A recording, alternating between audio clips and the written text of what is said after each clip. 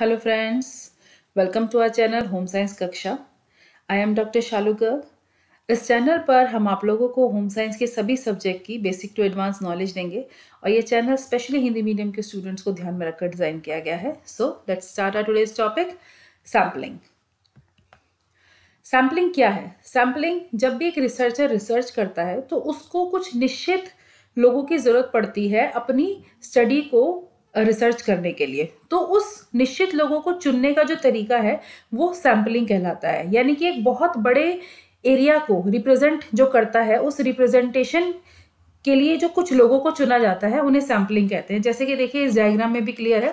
That is your target population और ये आपकी स्टडी पॉपुलेशन है और इसमें से आपने कुछ निश्चित लोगों को चुना है और ये सैंपल जो है, ये आपका टोटल टारगेट पॉपुलेशन को रिप्रेजेंट कर रहा है।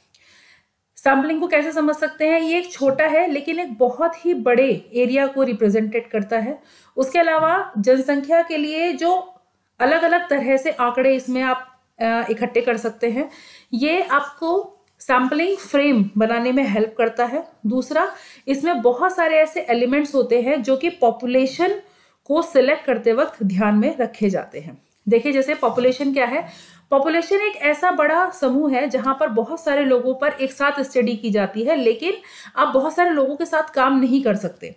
तो उसकी स्थिति में आपको टारगेट पॉपुलेशन रखी जाती है और वो टारगेट पॉपुलेशन क्या करती है आपकी? देखिए टारगेट पॉपुलेशन है, जैसे कि पिछले डायग्राम में भी हमने समझा, उसके बाद एक्सेसिबल पॉपुलेशन है जिससे आप बात कर सकते हैं और उसमें से भी आपने एक सैंपल चुना है जो कि इन सारे लोगों को रिप्रेजेंट करेगा।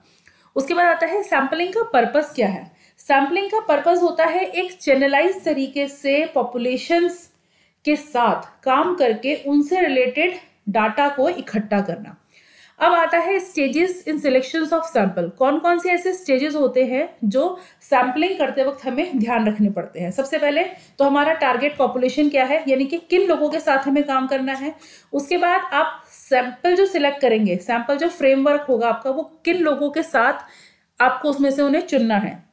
उसके बाद आप सैम्पलिंग मेथड यूज़ करेंगे जिसमें कि प्रोबेबिलिटी या नॉन प्रोबेबिलिटी दो तरीके हैं सैम्पलिंग चुनने के, जिसको हम अभी आगे पढ़ेंगे। उसके बाद कौन सा प्लान आपके उस सैम्पलिंग यूनिट के साथ काम करने का सही तरीका होगा? आपका सैंपल साइज़ क्या होगा? उसके बाद एक्चुअल सैंपल यूनिट क्या होगी? और उसके बाद किस तरह से आप उस सैंपल्स के साथ फ़ील्ड वर्क पे काम करेंगे। उसके बाद आता है टाइप्स ऑफ़ सैम्पलिंग देखिए बेसिकली सैम्पलिंग जो है वो दो पैरामीटर्स पे मानी जाती है प्रोबेबिलिटी सैम्पलिंग मेथड और non probability sampling method. Probability sampling method के भी चार तरीके हैं, simple random, cluster sampling systematic sampling and stratified random sampling उसके अलावा नॉन प्रोबेबिलिटी सैम्पलिंग के भी चार तरीके हैं, कन्वीनियंस, जजमेंट और पर्पज है स्नोबॉल और क्वेटा सैम्पलिंग यहाँ पर आज हम स्लाइड में सिर्फ़ प्रोबेबिलिटी सैम्पलिंग के बारे में पढ़ेंगे। अब आता है प्रोबेबिलिटी सैम्पलिंग क्या है? देखिए, ये एक सबसे सिंपलेस्ट तरीका है सैंपल को चूज़ करने का। और इसमें बहुत ही कम समय लगता है, बहुत ही कम एनर्जी लगती है और दूसरा ये बहुत ही फेयर होता है। इसमें हर सैंपल के पास मतलब हर इंडिविजुअल पर्सन ऑफ़ पॉपुलेशन के पास इक्वल चांसेस होते हैं पैरामीटर्स में इंक्लूड करने के लिए। फॉर एग्जांपल अगर आपको एक हज़ार लोगों में से कोई सैंपल चुनना है तो आपके पास हर इसमें हर हज़ार में से हर एक बंदे के पास इक्वल चांस होता है इस सैम्पलिंग में चूज़ किए जाने का। जैसे नॉन प्रोबेबिलिटी सैम्पलिंग क्या है? ये थोड़ा सा रिसर्चर अपनी चॉइस के हिसाब से इसमें रैंडमली भी चूज़ कर सकते हैं।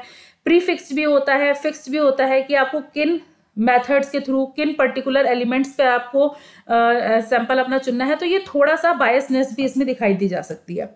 अब यहाँ आता है प्रोबेबिलिटी सैम्पलिंग हमारे चार तरह की होती है। सबसे पहले simple random sampling systematic sampling cluster sampling and stratified random sampling अब इनको एक एक करके समझते हैं। सिंपल रैंडम सैम्पलिंग क्या है? ये सबसे बेस्ट तरीका है, सबसे कम टाइम कंज्यूमिंग वाला तरीका है, जिसमें हर इंडिविजुअल पर्सन के पास इक्वल चांस होता है चुने जाने का। ये सबसे सिंपल और सबसे ऑथेंटिक माने जाने वाला मेथड है that is called simple random sampling for example अगर आपको 500 एम्प्लॉयज़ में से एक 10 या 12 लोगों की टीम बनानी है तो उसमें क्या करते हैं कि 500 लोगों के नाम की चिट बनाते हैं और चिट सिस्टम में डाल देते हैं। और उसमें से जिन 10 लोगों को आपको चुनना है, हमने 10 चिट उठाई और उन 10 में से उन 500 में से वो कोई भी 10 लोग हो सकते हैं। तो दैट मीन्स कि हर बंदे के पास इक्वल अपॉर्चुनिटी है चूज़ किए जाने की। उसके बाद आता है क्लस्टर सैम्पलिंग ये क्लस्टर uh, सैम्पलिंग जो है एक अलग दूसरा तरीका है सैंपल चुनने का। इसमें क्या किया जाता है छोटे छोटे समूह uh, जो है बांट दिए जाते हैं डेमोग्राफिक पैरामीटर्स के अकॉर्डिंग जैसे कि उनकी एज सेक्स लोकेशन के अकॉर्डिंग तो उस स्थिति में आपको हर एरिया से छोटे छोटे सैंपल्स ले लेते हैं तो हमारा जो सर्वे है, जो फीडबैक है, वो ऑथेंटिक होने की ज़्यादा गुंजाइश रहती है। फॉर एग्ज़ाम्पल जैसे अगर यूएस गवर्नमेंट को ये पता करना है कि उनके यहाँ पर पूरे यूएस में कितने माइग्रेंट्स रहते हैं तो वो हर घर में जाकर तो नहीं कर सकते। तो वो क्या करेंगे कि अपने जितने भी शहर हैं, उनको अलग अलग सेक्शंस में डिस्ट्रीब्यूट कर देंगे। जैसे कैलिफ़ोर्निया टेक्सास फ्लोरिडा क्लोराडो हवाई तो वहाँ पर क्या करेंगे, वो हर इंडिविजुअल शहर का डेटा निकाल लेंगे कि कितने माइग्रेंट्स उनके किस शहर में रह रहे हैं तो उनके पास ओवरऑल टोटल डाटा निकल के आ जाएगा, फिर वो सबको एक साथ मिलाकर रेक्टिफाई कर लेंगे तो उनके पास प्रॉपर इंफॉर्मेशन आ जाएगी। उसके बाद आता है सिस्टमैटिक सैम्पलिंग मेथड अब ये क्या है? सिस्टमैटिक सैम्पलिंग मेथड क्या है? रेगुलर इंटरवल्स के बाद। मतलब इसमें एक प्री डिफाइंड आपकी लोकेशन है कि हर दस लोगों में से दस के बाद आपको एक बंदा उठाना है, हर दस के बाद आपको एक बंदा उठाना है। तो ये सिस्टमैटिक सैम्पलिंग मेथड है कि इसमें प्रॉपर सिस्टम से ही काम चल रहा है। अगर आपकी सीक्वेंस हर दस के बाद ग्यारहवा बंदा उठाना है तो आपको हर दस के बाद ग्यारहवा बंदा ही उठाना पड़ेगा आपकी सैम्पलिंग साइज़ को चुनने के लिए। ये भी बहुत ही कम टाइम कंज्यूमिंग है क्योंकि सिलेक्टेड होता है इसमें क्राइटेरिया और इसमें जैसे अगर आपने पाँच हज़ार लोगों में से पाँच सौ लोगों की पॉपुलेशन आपको निकालनी है तो आप इसमें क्या करेंगे? पाँच हज़ार लोगों में से हर पाँच सौ हर आ, दस के बाद एक एक बंदा उठाते चले जाएँगे तो उसमें क्या होगा, आपके पास टोटल फाइव हंड्रेड लोग इकट्ठे हो जाएँगे, जो कि एक सिस्टमेटिक सैम्पलिंग मेथड का तरीका है। उसके बाद आता है स्ट्रेटिफाइड रैंडम सैम्पलिंग अब ये जो है थोड़ा सा रिसर्चर के पास प्री डिफाइंड सिचुएशंस होती हैं कि आपको एक निश्चित समूह में से ही अपनी पॉपुलेशन को उठाना पड़ेगा जो कि एक छोटा सा एरिया जैसे छोटा सा समूह होता है वो पूरे एरिया को रिप्रेजेंटेटिव करता है रिप्रेजेंट करता है।